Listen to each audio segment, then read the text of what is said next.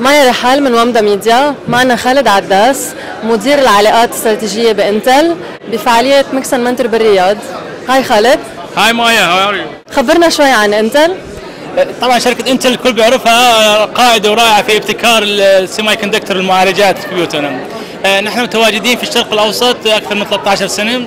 وبنتعاون تعاون استراتيجي لمساعدة الحكومات الانتقال للاقتصاد المعرفي من خلال دعم عملية التعليم وريادة الأعمال والابتكار والبحث العلمي. شو أهم التحديات اللي عم بتشوفوا إنه الشباب ورواد الأعمال عم بيعانوا منها بالرياض؟ عم نشوف صراحة أفكار كثير رائعة وابتكارية من المنطقة العربية متواجد جدا. التحديات كثيرة ونفس التحديات يعني موجودة في العالم العربي إن كانت البطالة ولا الفقر ونفس التحديات اللي هي العالمية المتواجدة. كيف نحسن البيئة؟ كيف نسوي الطاقة؟ آه، المياه. فمجموعة كثير جدا من الشباب والشابات في عالمنا العربي بدأت تفكر الآن كيف تحول التحديات العالمية وتسوي منها فرص آه، تخلق من خلالها آه، أعمال. وعم نحاول نشجع كثير شباب من عدة مبادرات من كان بالتوعيه ولا ان كان بالتدريب المجاني بحيث يستطيعوا انه يحولوا هاي الأفكار ويلاقوا حلول، هاي الحلول حتوصلهم للعالمية إن شاء الله من خلال عدة مبادرات وعدة تعاونات استراتيجية.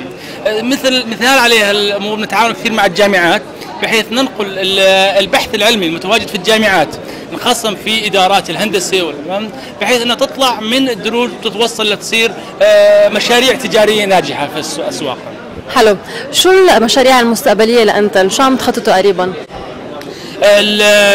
معظم مشاريعنا المتواجدة في العالم العربي آه، عم تجي تحت مظلة مبادرة أطلقناها من خمس سنوات اسمها مبادرة انتل للتحول الرقمي digital transformation initiatives وتصب في الأخير هي هدفها إنه فعلا نحاول الوصول للاقتصاد المعرفي من خلال آه، تحسين التعليم من خلال إعطاء فرصة للابتكارات والبحث العلمي آه، من لتحفيز الجيل القادم من المبدعين من الشباب والشابات للوصول إلى ابتكارات تحل مشاكل عالميه ودعم الابتكارات والبحث العلمي بشكل عام أكثر في الجامعات فمشاريعنا كثير من تحت المسؤولية وخدمة المجتمع.